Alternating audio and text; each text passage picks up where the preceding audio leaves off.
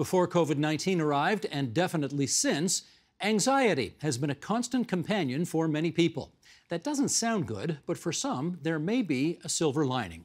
Wendy Suzuki, a neuroscientist at New York University, explains why in her new book, Good Anxiety Harnessing the Power of the Most Misunderstood Emotion. And she joins us now from Manhattan Island in New York City for more. Dr. Suzuki, it's great to have you on TVO tonight. How are you doing? I'm doing great. Thank you so much for having me. Not at all. I thought we'd start by reading an excerpt from the book and then we'll come back and chat. So, Sheldon, if you would, let's bring this graphic up and we'll all read along together. From global pandemics to crashing economies to intense daily family challenges, we all have plenty of justifiable reasons to feel anxious. The relentless 24 hour news cycle and the constant stream of social media just add to this unease. We are surrounded by too much information to filter and too much stimulation to relax. The stress of daily living seems inescapable. Is feeling anxious inevitable? I'm going to get you to answer that question in a second, but before you do, is there an official definition of anxiety you can give us so we're all on the same page here? Absolutely.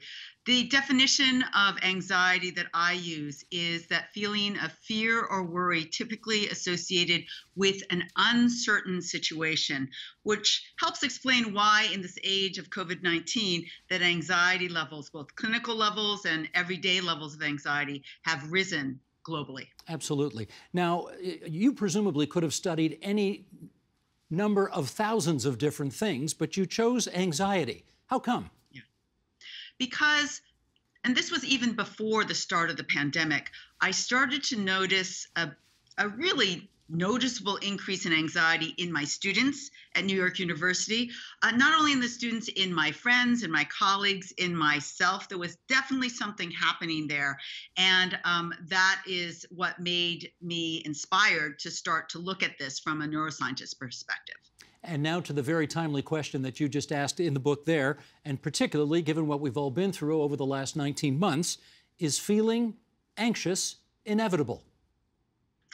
Yes. Anxiety is one of our natural emotions. And it is not surprising that in situations where there's a lot of uncertainty, a lot of fear and um, uh, as we've all experienced that we will all have these feelings of anxiety.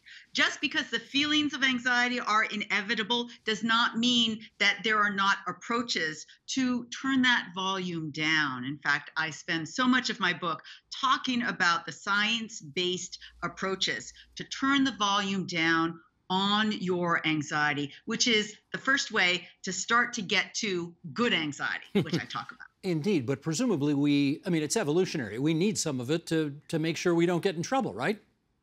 Absolutely, absolutely. Anxiety at its hmm. core, from an evolutionary perspective, not only the emotion of anxiety, but that physiological stress response that comes with it, is protective for us. It's, in fact, critical for our survival. So um, it is protective and critical, even though I know all of you out there are thinking, I'm not feeling protected by my anxiety one little bit. And the reason is because collectively as a society, our anxiety levels have been turned up so high with not just COVID, but global warming and news cycles and social media. And even the weather report can be scary these days. Hmm. So, um, step number one is turning down the volume on your anxiety. It may also be the case, I guess, that that well, there's kind of two different kinds of anxiety. There's the everyday anxiety that you write about in this book, and then there's the sort of clinical anxiety, which is a much more that's a different thing. You're focusing yes. on the first. How yes. how would you distinguish it from the second? So the second is. Um, you know, it is that debilitating form of anxiety, uh, clinical levels of anxiety uh, that have gone up uh, um, to 30% of the population since the pandemic. Before the pandemic, it was about 20%. Now it's 30% of the population have clinical levels of anxiety. It's debilitating. It stops you from being able to live your everyday life. And um, that is when you need a medical professional. So if it is stopping you from um, doing your job, from having normal relationships, that is when you should start to consider uh, going to see a, a professional. And the physical consequences of all of that can be what? The physical consequences are daunting and devastating. This is essentially the physical consequences of long term stress, that physiological stress response that comes with anxiety. Every time we're anxious, what happens is our heart rate goes up, our respiration goes up, and blood gets shunted to our muscles so that we can either run or fight, that fight or flight response, which is great in the moment. That is why it is protective and essential for our survival. But imagine having that response all the time uh, at every drop of a potential uh, uh, scary thing happening that is happening all, all around us. What happens is long term, physiologically, it leads to heart problems, heart disease, um, ulcers, reproductive problems, and in the brain, high levels of the stress hormone cortisol can start to first damage and then kill brain cells in your hippocampus and your prefrontal cortex, two brain areas critical for long term memory and decision making, um, uh, respectively. Okay, I am going to introduce a new word here. Well, actually, introduce is the wrong word to use because we've talked about it on this program many times in the past, uh, particularly with uh, guests like Dr. Norman Doidge, who's from around here. We talk about neuroplasticity and that's yes. what you're into. You want to tell us what yes. that is? So, brain plasticity or neuroplasticity is the brain's amazing capacity to be able to change and grow um, in response to the environment. Unfortunately, so that's good positive brain plasticity. There's also negative brain plasticity, which shows that in other negative environments that include a lot of stress, your brain can actually shrink and become damaged. So it can go in both directions. And my whole research program has been in trying to understand those um, interventions that bring us to positive brain plasticity that helps our brains grow and strengthen. So it is possible to live with anxiety in a healthy way, yes? Yes, absolutely. For example, think about a situation where there's no anxiety at all, no stress at all. What comes with anxiety and that energy that comes with stress is action. It uh, comes ambition.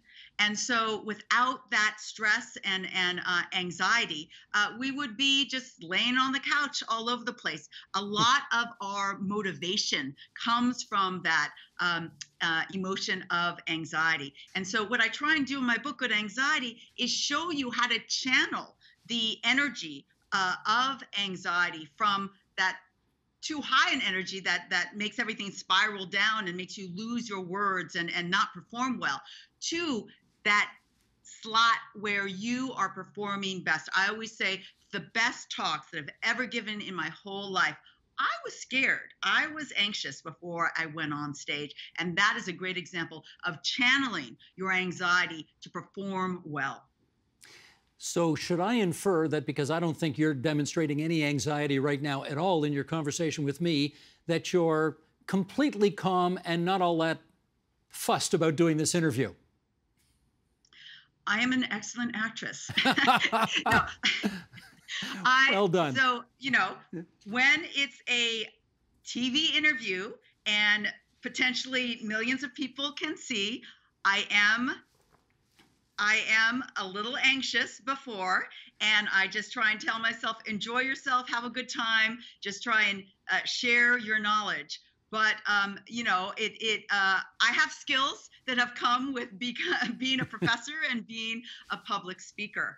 But yeah i uh, there's something a little bit wrong if i'm not a little bit worried a little bit tense about is all this equipment going to work? Is my internet going to go out? Are they going to ask me? The one thing that really gets me scared is are they going to ask me something i don't know the answer to? So as long as you don't do that I'm going to stay nice and calm.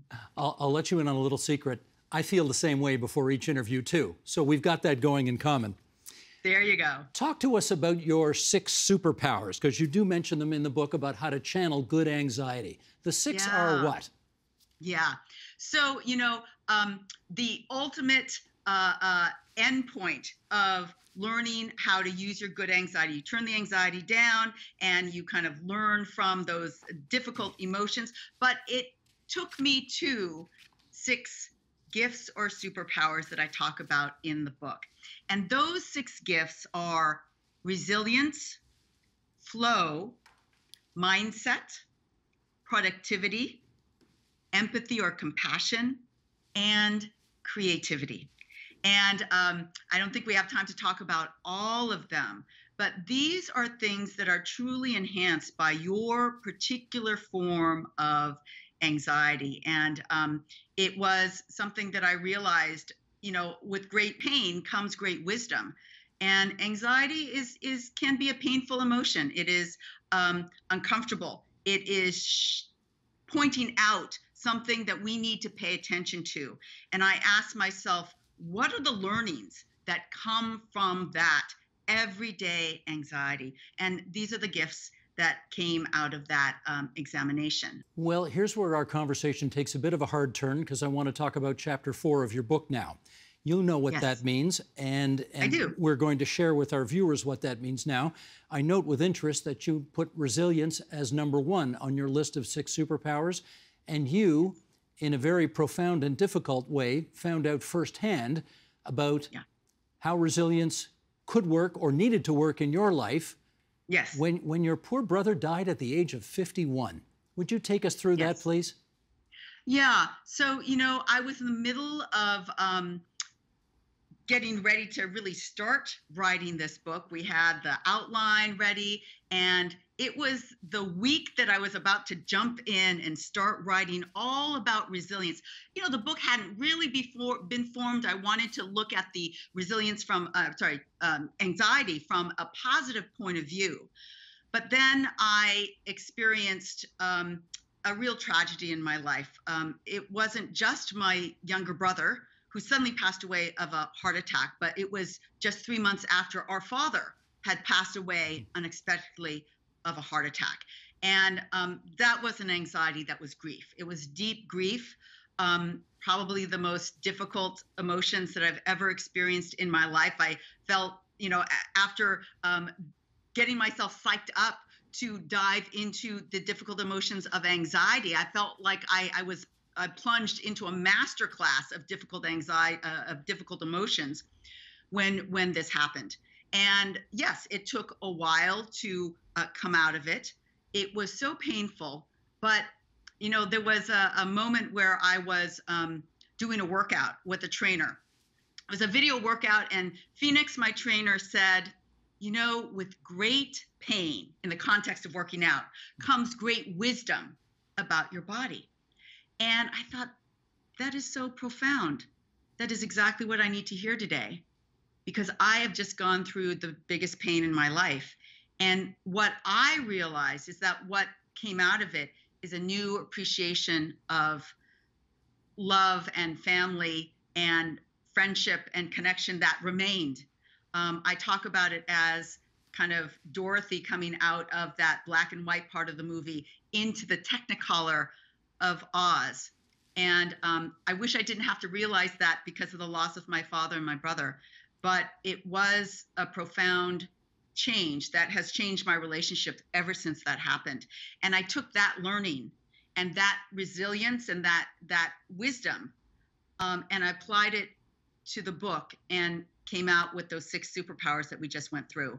Um, and the book is dedicated to my father and my brother. And it would not have been the same had um, had that not happen in the middle of writing this book. Hmm. How long did it take you to get that wisdom? Six months, eight months, something like that. And you know, I was active about it. I, I always had a regular exercise program. I always had a regular meditation program, um, which I talk about a lot in the book as great tools to combat anxiety. Well, they're also great tools to combat grief. Um, so it was uh, um, daily workouts, daily meditations, reaching out to friends, and and um, um and really kind of coming together in our little pod of the family. My my mom and my sister-in-law and my niece. Um, we're closer now, and I, I appreciate that every day. Hmm. Uh, this may be a bit of a bizarre coincidence to introduce here, but I'm going to try anyway. My father's father died at 51 of a heart attack. So you have that element in common there. And I remember asking him many years ago, you know, how do you get over that? You know, no, no, nobody's supposed to die at 51. Yeah. And um, his answer was, we just sort of had to. People were tougher back then. Right. And uh, could I get you to compare tragedies of many years before with tragedies today where we may be more in touch with our emotions today or we may be more understanding of, of being allowed to grieve publicly today in ways that were not possible back then and how significant those differences might be? Yeah, that's such an interesting question. I mean, my mind um, immediately went to the fact that families were larger and uh, healthcare wasn't nearly as good. So, death and death in your close family members was probably more common than it is today. Um, of course, it still happens as it, as it, happened to me, kind of this double whammy. Um, uh, especially my my younger brother, which was the the one that was just so unfathomable. And I, I think that you know death has been a constant throughout our evolution, and um, it's always going to be hard um, because we are social species and we we thrive on that social connection no more strongly than with our own family members. And so um, I think it it yes i think uh, your father was right. They they had to do it. We all just have to get over it. There's nothing there's nothing that we can do. Um, what uh, what is what is valuable and what i learned from this experience is that um, those uncomfortable feelings those difficult feelings are there for a reason. They're telling us how much those people meant to us. And the deeper the feelings and the more difficult the feelings the more that they meant. So so it's like an emotional tribute to the person that went away. And i i took that kernel of knowledge and i tried to apply it to this emotion that has been kind of running rampant, but at its core is also protective. It is mm. helping us. It is showing us what is going well in our lives and what is what is important to us. We worry about the things that are important to us, that in the same way that we grieve for the people that we love the most. What is that signal? And that is the signal that I tried to harness in the six superpowers of anxiety that I talk about in this book. We talked about resilience a lot there. Is there one other one that you that you think we need to? Well, I know they're all important, but which which second one would you like to tell us a little more about? Well, uh, the second one and one of my favorites is um, empathy, the superpower of empathy, and this comes from my oldest form of anxiety that I've brought with me since childhood. Um, despite my ability to speak to you uh, and speak to my classroom uh, as a child and a young young student and even a college student. I was very shy. I was um, a wallflower. I was very awkward. And i always had years of really wanting to ask questions in class but being afraid that i was going to be wrong. Of course hmm. that's the fear that all students have. And i realized that that form of my own personal anxiety has created an empathy super, superpower in me because I'm at the front of the classroom now. And what I find myself doing uh, unconsciously is not just answering the students that raise their hand, love those students, but I always stay late, I arrive early, and make sure that all the other students that don't want to speak in front of class but have plenty of questions for me do that. It is my teaching superpower. And that's just me. What is your most common anxiety? And you know it well. You know what it feels like. You know what it looks like.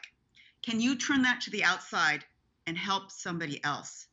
That becomes your superpower of empathy that originates with your own form of anxiety. In which case, let's finish up on this because we want to leave people with some good advice, as in exercise, deep breaths. Yeah. yeah. Uh, talk about the importance of that, if you would. Yeah, absolutely. So my number one go-to because everybody asks, you know, I'm I'm starting to have anxiety. What should I do right now?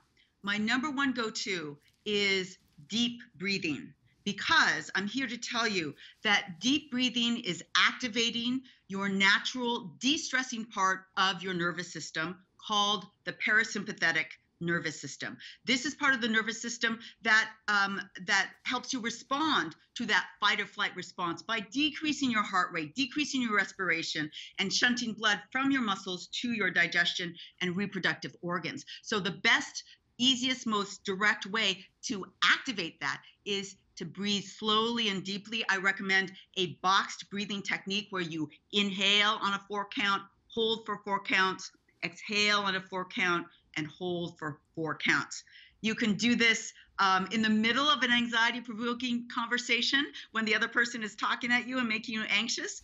Um, you can teach your kids to do it uh, so they can do it in school when they're starting to get anxious. It is, uh, um, it is a panacea for, for anxiety moving your body taking a walk outside is my number two uh, it also what what it's doing is stimulating the release of dopamine serotonin noradrenaline it's like you're giving your brain a wonderful bubble bath of all of these wonderful neurochemicals and um, that that act to decrease anxiety and depression levels. So, those are my number one and number two go tos if you need to decrease your anxiety level today.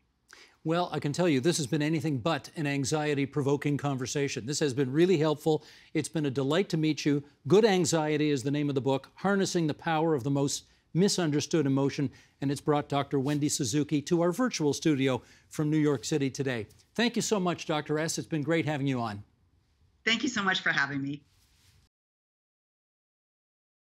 The Agenda with Steve Paikin is made possible through generous philanthropic contributions from viewers like you. Thank you for supporting TVO's journalism.